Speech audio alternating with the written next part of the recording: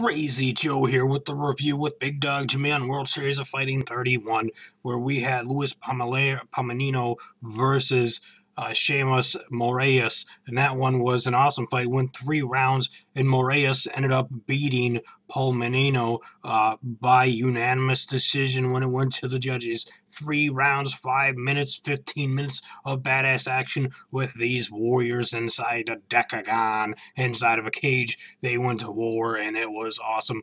Uh, there was a lot of combinations. Uh, Sheymon Moraes, he ended up using a lot of uh, kicks and leg work and strikes to beat Palomino in this fight. I was surprised that Lewis would come back and win but I do like Moraes, but this one was a fun fight. Leave us a comment down below with your thoughts and opinions on the fight if you've seen it and what you thought. Uh, you know, uh, what do you think is next and who's next for Moraes with his win over Palomino? Uh, you know what I mean? Big Dog Jimmy was liking that fight. He thought we were going to see it finish multiple times, but we didn't. Hit that subscribe button here at Crazy Joe's Galaxy if you like combat sports. Uh, you know, we do reviews, reenactments, predictions, uh, reactions, and so much much more. Thanks for watching.